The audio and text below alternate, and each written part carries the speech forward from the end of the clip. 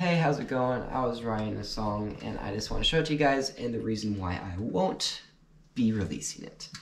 And so I was experimenting with chords and like layering on top of each other and they're like this because you can arpeggiate it and it makes it mysterious but also you can like make it happy and you can go anywhere with it really. So I chose these notes from it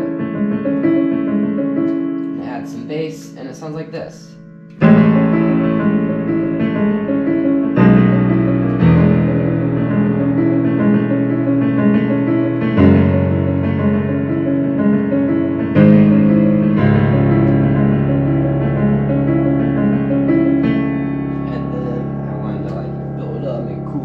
Add this part in.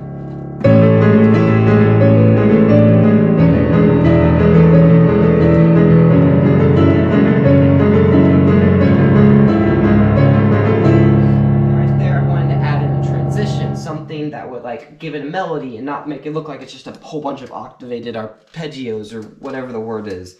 And this is the melody I chose.